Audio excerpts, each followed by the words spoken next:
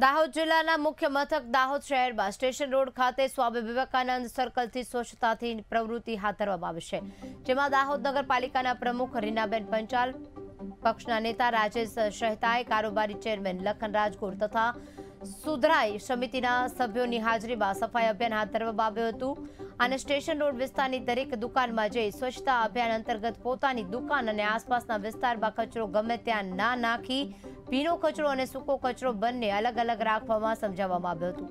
અને આ એજન્સી દ્વારા સ્વચ્છતા અભિયાન સતત છ મહિના સુધી ચલાવવામાં આવશે, જેથી દાહોદ નગરને વધુ સ્વચ્છ બનાવી શકાય. આજ રોજ દાહોદ નગરપાલિકા દ્વારા આપણું નગર સ્વચ્છ રહે તેના માટે ડિવાઇન વેસ્ટ મેનેજમેન્ટ સર્વિસીસ કંપનીને ટેન્ડર પ્રક્રિયા કરી અને નક્કી કરવામાં આવી છે.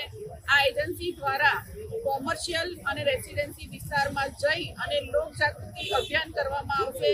કે લોકો સ્વચ્છતા રાખે, પ્લાસ્ટિકનો ઉપયોગ ના કરે, ભીનો કચરો, સૂકો કચરો અલગ અલગ રાખે.